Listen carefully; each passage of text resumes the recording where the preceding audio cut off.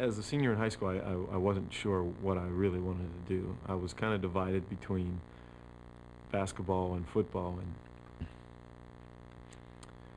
my I think my father at the time really thought I was uh, going. I remember a conversation we had in the car one day, and I can't remember where it come from, but it kind of sticks in my mind that he just knew. I said that I had made up my mind I, that I knew where I was going to go, and he goes, "I already know too." He thought I was taking the easy road out and going to go play basketball, and uh, I had already made up my mind to go to Notre Dame at that point.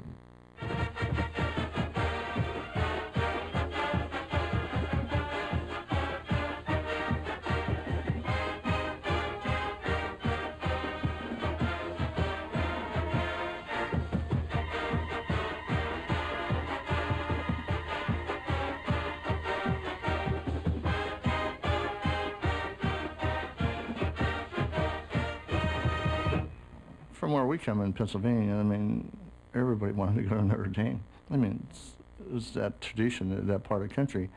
And uh, anytime we went out on Saturdays, we always turned on the Notre Dame game. Then we, on Sunday morning, we get up early in the morning so we could watch the replays on television. So he was probably brainwashed at an early age. I don't even remember how I even got started on Notre Dame. I really liked the team.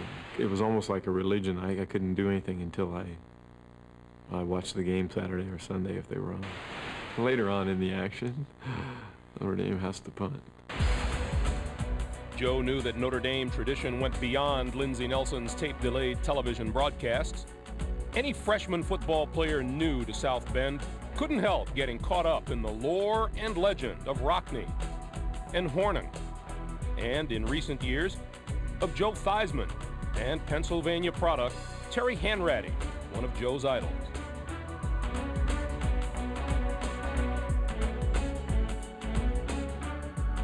But when Joe Montana began at Notre Dame, he quickly learned that he was just one of many with the same goal. When I got to Notre Dame, you know, as a freshman, you always have these illusions of grandeur in your mind that things are going to be a lot better than they really are. And when I got there, I, I was in shock that there were seven other freshman quarterback on the team. At first, as a freshman, he didn't stand out much more than anybody else, and uh, there were actually two other freshman quarterbacks that were higher rated than he was as freshmen. After a disappointing freshman campaign, Joe began his sophomore season as a backup quarterback. But thanks to seven comeback victories in three years, Montana left a legacy of his own for the record books at Notre Dame.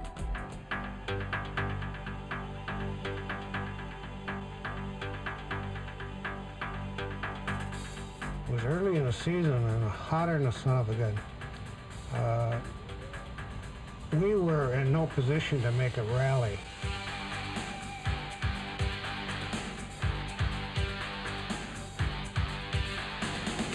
With just over six minutes left in the game, Montana completed three of four passes for 129 yards and a touchdown.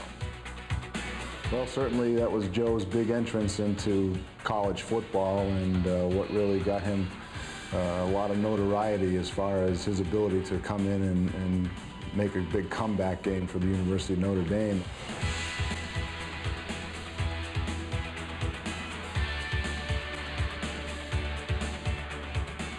Uh, that was the first uh, indication that he had the ability to be a great quarterback. Uh, everyone knew that he had some inner confidence, but that was the first time he was able to actually demonstrate it on the field.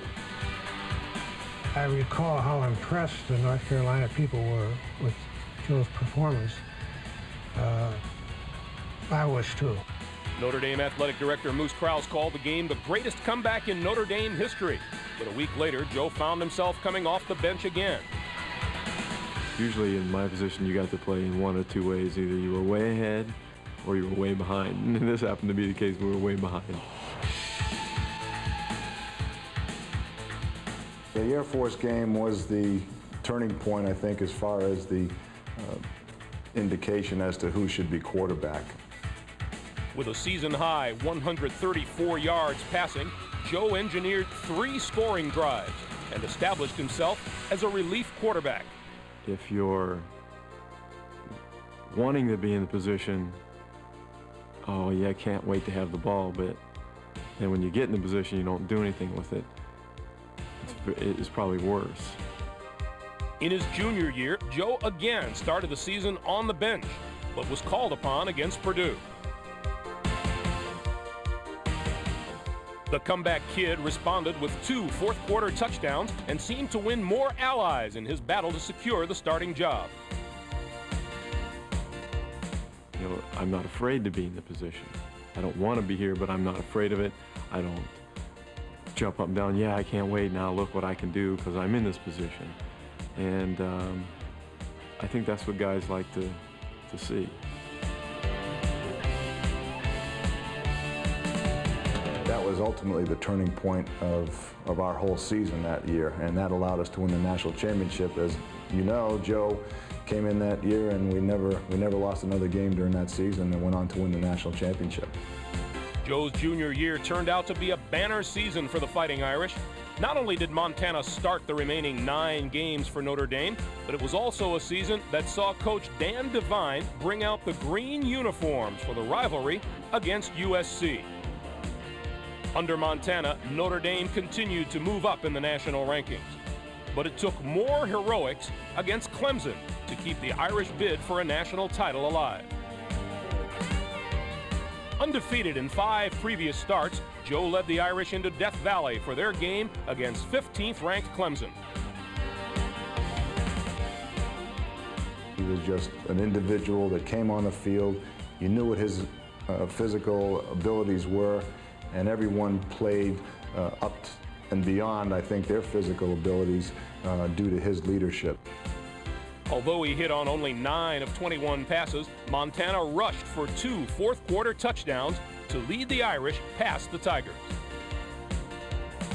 There's no doubt in, in my mind about the, the ability of the other guys, and I think in return you get the same from them.